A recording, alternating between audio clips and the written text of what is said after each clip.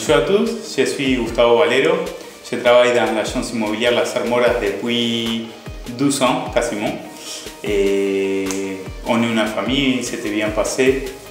On commençait avec une époque très intense après le, le Covid.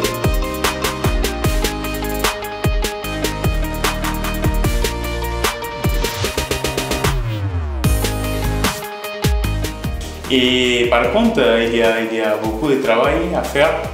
Et on s'occupe de toute la région de, de Landes et moi spécifiquement de la part de Mimisan. Et on développe un peu plus tout ce qui sont les réseaux sociaux et différentes façons de publicité pour trouver des acquéreurs qualitatifs qui, qui fait des matchs avec, avec la maison de notre client.